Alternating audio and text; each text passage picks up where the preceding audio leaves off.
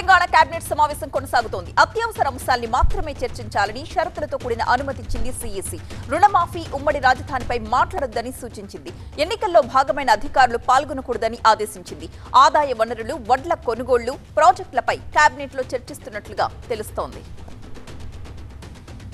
వర్షాకాలం దగ్గర పడుతుండటంతో ఖరీఫ్ యాక్షన్ ప్లాన్ పై చర్చిస్తోంది తెలంగాణ కేబినెట్ అలాగే విద్యా సంవత్సరంలో తీసుకోవాల్సిన చర్యలపై చర్చిస్తున్నారు. జూన్ రెండున రాష్ట్ర అవతరణ దినోత్సవ వేడుకలపై చర్చించి నిర్ణయం తీసుకోనున్నారు. కాంగ్రెస్ పాలనలో మొదటిసారి రాష్ట్ర అవతరణ వేడుకలు జరగనుండటంతో పది రోజుల పాటు వేడుకలు నిర్వహించాలని యోచిస్తోంది రేవంత్ సర్కార్. ఏపీలో అల్లర్లపై ముగ్గురు ఎస్పీలపై శాఖాపరమైన చర్యలు చేపట్టారు. ఎన్నికల్లో హింసకు బాధ్యుల్ని చేస్తూ పల్నాడు అనంతపురం ఎస్పీలపై సస్పెన్షన్ వేటు కూడా వేసింది ఎన్నికల సంఘం. తిరుపతి ఎస్పీని బదిలీ చేసింది. పోలింగ్ వేళ అల్లర్లను పసిగట్టలేకపోయారంటూ ఎస్పీలపై అభియోగాలు నమోదు చేశారు. హింసపై లిఖితపూర్వకంగా లేదా విచారణాధికారి ఎదుట హాజరై నేరుగా వాదనలు వినిపించాలని ఆదేశాలిచ్చారు. లేకపోతే తదుపరి చర్యలు తీసుకుంటామని హెచ్చరించారు సీఎస్. ఐవీఎఫ్ ఒక అధునాతన సంతానోత్పత్తి చికిత్స. అనేక దంపతులకు తల్లిదండ్రులు కావాలనే వారి కలను నెరవేర్చుకోవడానికి సహాయపడుతుంది. ఈ రోజే ఓఎస్ఎస్ ఫర్టిలిటీని సందర్శించండి. ఏపీలో అల్లర్ల ఘటనపై సిట్ నివేదిక ఇచ్చింది. ఏపీ డీజీపీకి నివేదిక అందించారు సిట్ చీఫ్ బ్రిజ్లాల్. అల్లర్లపై నమోదైన ఎఫ్ఐఆర్లను పరిశీలించిన సీట్ కొన్ని ఎఫ్ఐఆర్లలో అదనపు సెక్షన్లు చేర్చాలని అభిప్రాయపడింది. అన్ని చోట్ల నిందితుల వివరాలను సేకరించామని తెలిపింది. పల్నాడు జిల్లాలో హింసపై కలెక్టర్ శ్రీకేష్ బాలాజీ సీరియస్ అయ్యారు.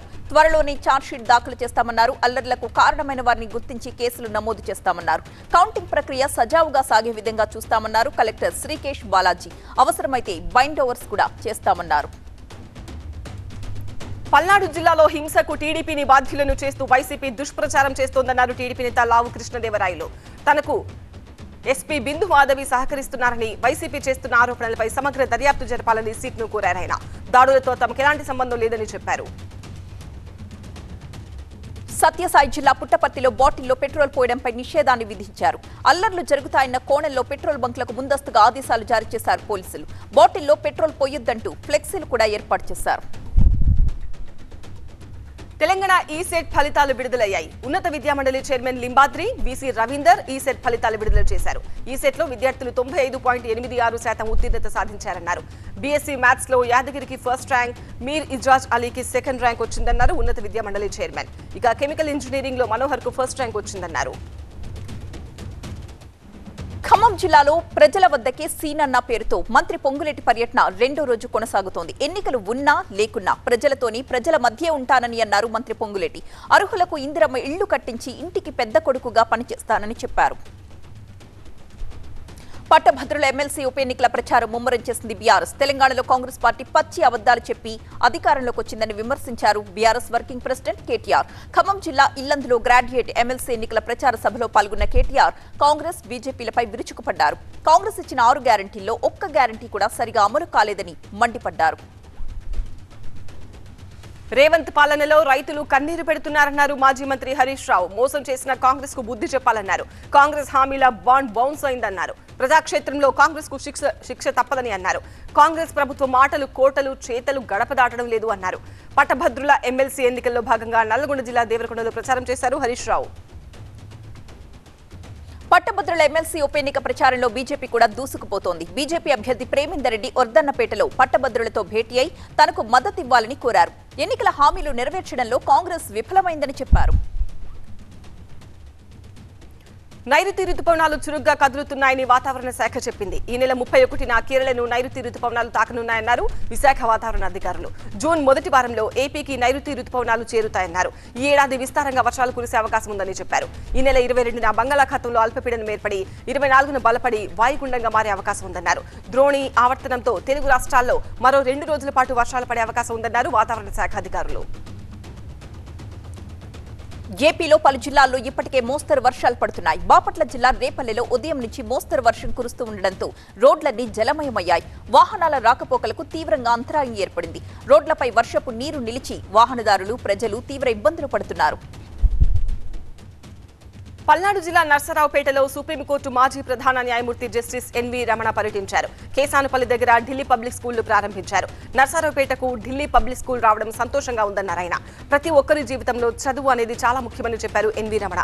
ఇంగ్లీష్తో పాటు మాతృభాష తెలుగును మర్చిపోవద్దని సూచించారు. ఆదిలాబాద్లో పత్తి రైతులకు కష్టాలు తప్పట్లేదు. పత్తి విత్తనాల కోసం దుకాణాల ఎదుట భారీగా క్యూ కట్టారు.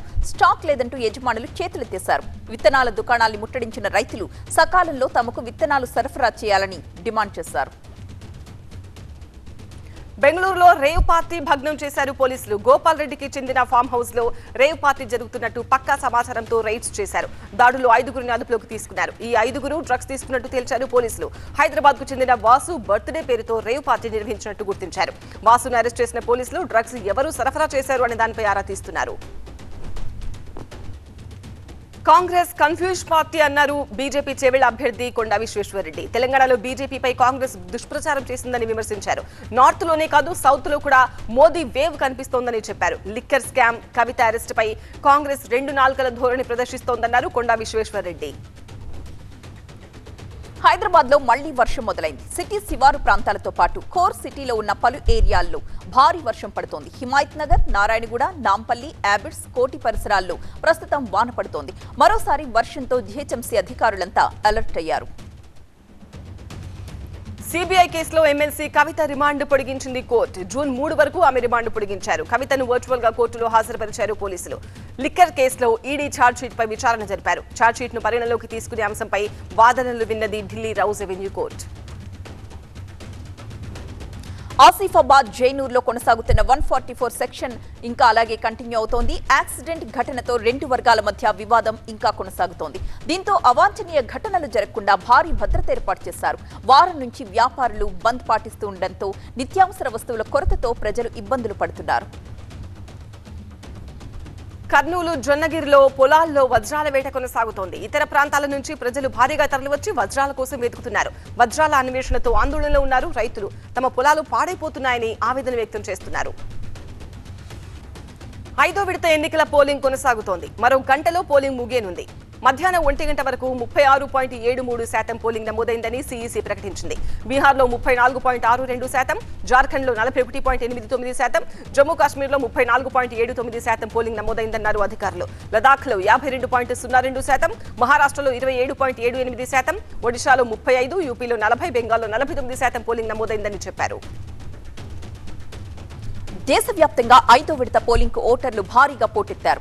యూపీలో పద్నాలుగు మహారాష్ట్రలో పదమూడు బెంగాల్లో ఏడు స్థానాలు బీహార్లో ఐదు ఒడిశాలో ఐదు జార్ఖండ్లో మూడు స్థానాలకు గాను పోలింగ్ కొనసాగుతోంది. జమ్మూ కశ్మీర్ లడఖ్లో ఒక్కో స్థానానికి పోలింగ్ సాగుతోంది. ఐదో విడత పోలింగ్ జరుగుతున్న వివిధ రాష్ట్రాల్లో రాజకీయ సినీ వ్యాపార ప్రముఖులు సెలబ్రిటీలు ఓటు హక్కు వినియోగించుకున్నారు. ఉదయం నుంచే పోలింగ్ కేంద్రాల దగ్గర ఓటర్ల సందడి కనిపించింది. భారీ భద్రత నడుమ పోలింగ్ కొనసాగుతోంది. ఐదో దశలో మొత్తం ఆరు వందల యాభై తొమ్మిది మంది అభ్యర్థులు లోక్సభకు పోటీ చేస్తున్నారు. ఈ దశలో రాహుల్ గాంధీ రాజ్నాథ్ సింగ్ స్మృతి ఇరానీ ఒమర్ అబ్దుల్లా తదితరుల భవితవ్యం తేలిపోనుంది. ఒడిశాలోని ముప్పై ఐదు అసెంబ్లీ స్థానాలకు కూడా పోలింగ్ జరుగుతోంది. లోక్సభతో పాటు అసెంబ్లీకి ఎన్నికలు జరుగుతున్న ఒడిశాలో చివరి విడత ప్రచారానికి వచ్చారు ప్రధాని మోదీ. పూరి లోక్సభ అభ్యర్థి సంబితా పాత్రతో కలిసి భారీ రోడ్ షో నిర్వహించారు. తర్వాత అన్గుల్లో జరిగిన భారీ బహిరంగ సభలో ప్రసంగించిన మోదీ ఒడిశాలోని బీజేడీ సర్కార్ పూర్తిగా అవినీతి పరుల నియంత్రణలోకి వెళ్ళిందని మండిపడ్డారు.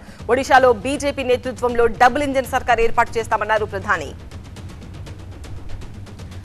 దేశవ్యాప్తంగా మార్పు అనే తుఫాన్ కనిపిస్తోందన్నారు రాహుల్ గాంధీ. రాజ్యాంగం ప్రజాస్వామ్య పరిరక్షణ కోసం ప్రజలు నిలబడ్డారని ట్వీట్ చేశారు. మరొక వైపు ఐదో విడత పోలింగ్ నేపథ్యంలో లక్నోలోని ఆలయంలో ప్రత్యేక పూజలు చేశారు రాహుల్ గాంధీ. ప్రధాని మోదీ నాయకత్వంలో కేంద్రంలో మరోసారి బీజేపీ సర్కార్ ఏర్పాటు కావడం ఖాయమని ధీమా వ్యక్తం చేశారు. ములాయం సింగ్ యాదవ్ చిన్న కొడలు అపర్ణ యాదవ్. సబ్కా సాత్ సబ్కా వికాస్ అనే అభివృద్ధి మంత్రాన్ని ప్రధాని ఆచరణలో చూపిస్తున్నారని అన్నారు.